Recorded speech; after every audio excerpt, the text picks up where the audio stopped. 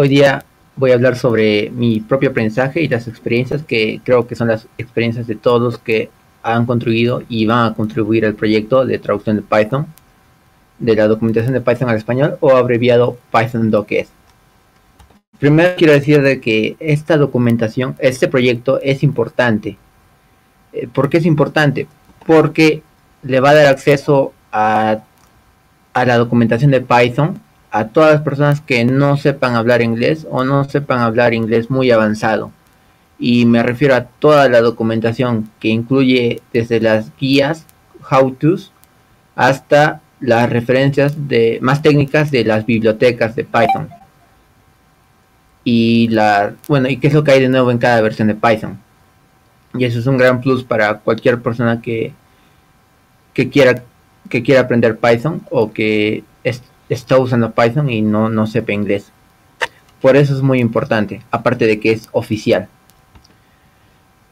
Y bueno, por cuando me enteré de eso yo quise contribuir, pero como todas las personas creo, cuando recién van a querer contribuir a un proyecto por primera vez, tienen con, e, ellos siempre tienen pensamientos, prejuicios al comienzo. Por mi parte, yo pensé que iba a ser un grupo serio, inactivo y severo. Serio en el sentido de que si hacías una broma o cualquier otra cosa, ya ahí te botaban del grupo. Inactivo en el sentido de que hacías una pregunta o comentabas algo en el grupo, en el repositorio de GitHub y se tardaban quizás un mes o una semana en responder. Y severo en el mismo sentido de que si cometías un error, ahí ya, ahí quedabas. Pero no, fue todo contrario.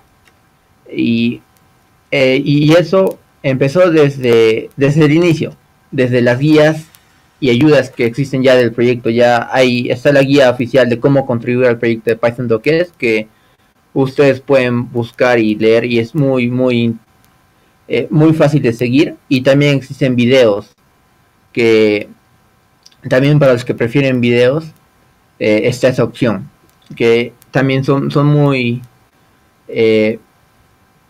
para la gente que, tenga problemas, estos videos son muy útiles, igual que la guía.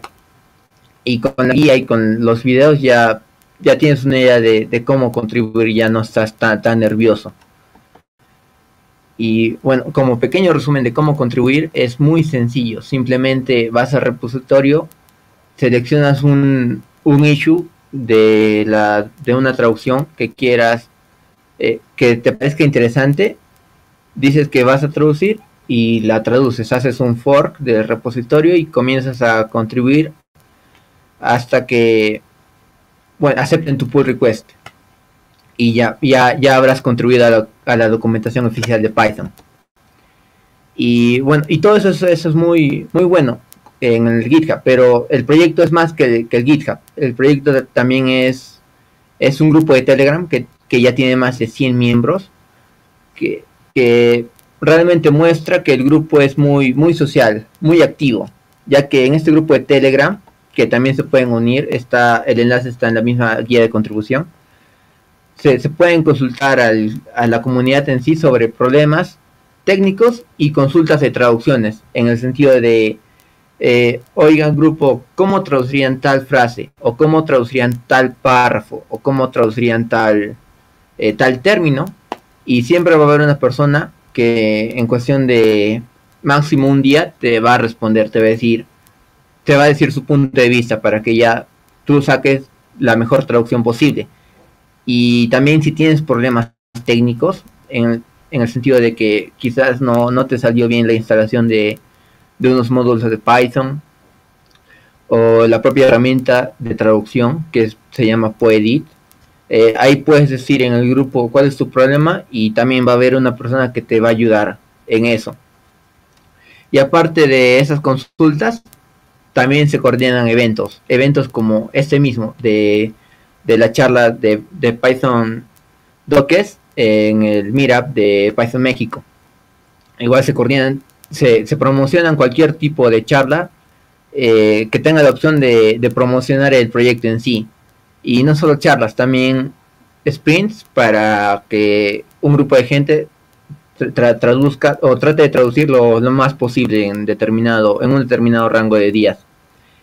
Y con esos eventos y esas consultas hace que el grupo se sienta vivo por un momento. Y, pero tampoco, no, no, solo es eso, también hay, a veces, a veces se puede hablar de eventos, eh, de, términos fuera, fuera del tema, off topic, eh, como quizás comida de otros países, o qué es lo que más le gusta a, ciertas personas, y normal, la gente es muy, es muy abierta, muy amigable, y, y, permiten hablar no, no, no, no solo de la documentación de Python en sí, aunque igual eso es, lo, eso es de lo que más se habla, de la documentación de Python. Y también entienden de que es una contribución, o sea, de que no es necesario de que tengas un deadline, un plazo fijo para terminar la traducción o que, o que traduzcas un cierto determinado de entradas por día, no, no, no eh, como contribución, tú te puedes demorar el tiempo que quieras, siempre y cuando seas constante. Sí, siempre y cuando seas constante, no, no te van a decir nada. Y terminarás cuando tengas que terminar.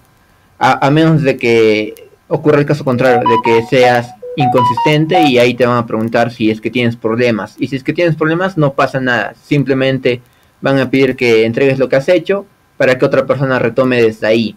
Pero una vez que te liberes ya igual podrás traducir, no, no habrá ningún problema, no, tampoco hay un registro de las cosas malas que, has hecho. Y, y ya, y, y, por ese sentido es muy, la el grupo es muy, eh, eh, es muy flexible. Y, y si terminas, una vez que terminas, te van a dar una revisión de tu trabajo que hayas hecho. Y ese trabajo siempre va eh, va a ser una retroalimentación positiva. Eh, quizás para el revisor, que cualquiera puede ser revisor, eh, pero el que te toque quizás diga, bueno, a mí no me gusta tal traducción del término, yo creo que sería mejor así, o yo creo que sería mejor tal frase de otra forma, o, o también te levantan observaciones, no te has equivocado en un, en un punto en, en, la, en la sintaxis, y cualquier cambio es recibido, porque siempre te lo van a hacer de una forma tal que, eh, que, te va a dar motivos para, eh, para cambiarlo. O si, si tú crees que tu traducción es la correcta, igual puedes discutir y, y en la discusión ya se, se, llega a un punto intermedio o se, o se llega a una aceptación y en el caso de que no se llegue, igual se puede hablar por el grupo de Telegram y otras personas van a dar su opinión. Pero la cosa es de que ninguna cosa es fijada en piedra y si así lo fuese, igual siempre te van a decir de la forma más positiva posible para que en vez de que, te deprimas, que, que, te motives. Y, y también aprendes demasiado en el mismo proceso de traducción. ¿A qué me refiero con eso? Eh, bueno, si no sabes Git o no sabes mucho utilizar Git, eh, con el solo hecho de comenzar a traducir y mandar tus cambios constantemente al repositorio, eh, ya, ya estás practicando Git y esto es algo muy, muy útil porque no todas las personas del grupo son expertas programadores. hay, hay, hay personas que son sociólogos, hay personas que que, son traducciones, que son traductores oficiales, pero eh, no es necesario ser un programador de Python para contribuir a la, documentación de Python. Basta que tengas ganas de, aprender en el camino. Y también aprendes mucho de, Python. Y no importa de que, de, que tú ya, de que tú ya sepas Python. El mismo hecho de la traducción de ciertas bibliotecas hace de que tú tengas que aprender ciertas funciones eh, o ciertas constantes, ciertas cosas que quizás no sabías porque la biblioteca de Python, la biblioteca estándar es, es muy, muy amplia y siempre hay algo por, conocer de este maravilloso lenguaje. Y si no lo llegas a aprender, en el, en el peor caso, al menos ya eres consciente de que esa cosa existe y, ya, y ya has aumentado tu, conocimiento de Python. Y también en ese mismo, en ese mismo sentido, también aprendes y practicas mucho sobre tu inglés y términos de computación, que, que también la traducción tampoco es un proceso muy fácil. El solo hecho de traducir ya quizás te haga aprender términos o frases eh, que quizás tampoco conocías.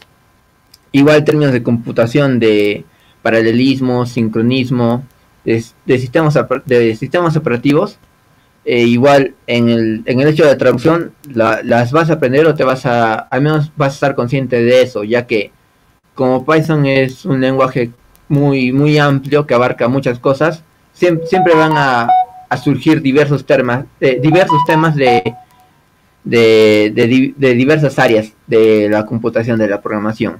Y en ese sentido siempre vas a aprender algo nuevo. Y por todo eso te das cuenta de que el proyecto es muy accesible y puede ser tu primera contribución si es que aún no la has hecho, como fue la mía. Y realmente te, te recomiendo, te motivo a que, a que lo hagas si es que aún no estás en el grupo.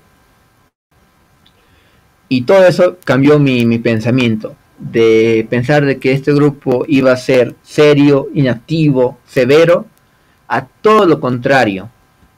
Es un grupo sociable, activo, comprensible, que, que realmente eh, es como todo de Python, que, que entras por el lenguaje y te quedas por la comunidad.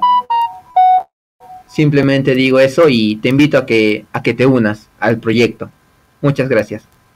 Hola, gracias por quedarte hasta el final del video. Recuerda que puedes ver más contenido como este en nuestro canal de todos los eventos a los que asistimos porque we love devs. Y acuérdate de darle like, compartir, suscribirte y darle a la campanita para que estés al pendiente de todo nuestro nuevo contenido. Además, seguirnos en todas nuestras redes sociales para que siempre estés al día sobre todo lo que subimos. Además, aquí te dejamos otros videos para que los puedas ver. Exacto. Gracias.